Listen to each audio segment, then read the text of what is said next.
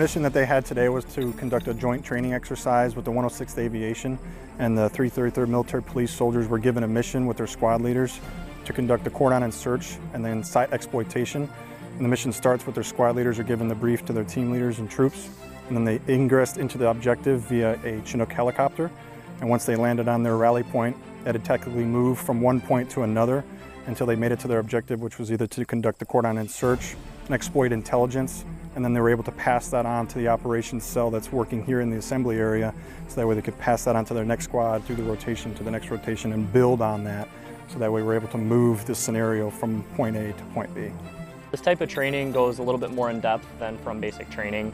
It's good that we have experienced people here that really, really know and care to teach, you know, these, these young soldiers how to effectively move as a single unit.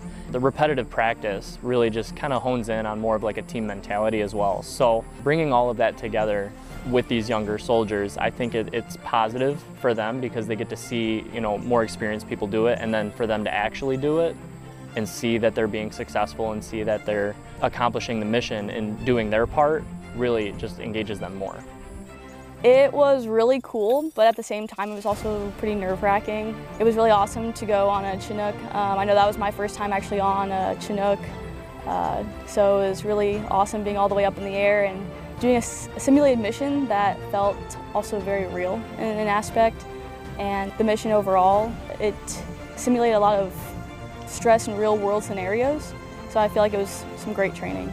We provide controlled stress, which that's what a lot of when you have the actual aircraft landing and then the prop wash and then having to get onto a helicopter where you cannot talk, having to get off the helicopter and then actually have to technically move from one place to another and have to talk via radio and have the controlled stress of having someone shoot at you with paintball guns makes it so that the elevation causes the soldiers to have to react in a real combat-like environment. It was, it was definitely a, a, stressful situation, you know, having the unknown. But we spent all day yesterday practicing and really narrowing down the movements that we needed to in order to, to kind of bring everything to, to light and make it as smooth as possible.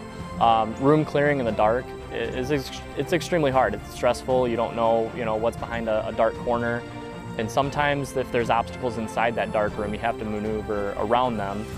And just being able to move as a, a single unit versus just as an individual and everyone be on the same page really helps. I would love to do more training uh, like we've done today. I think that it's very valuable, especially it helps with retention. Soldiers always want to do the fun stuff. They don't want to sit around. And it also is great for the newer people. They are able to get this hands-on training and experience because you know, they only have what they got in basic training in AIT, but there's a whole lot more out here. It, it brings you back to the basics. You know, you have to go back to the basics in order to, you know, break from that stress and just continue your mission.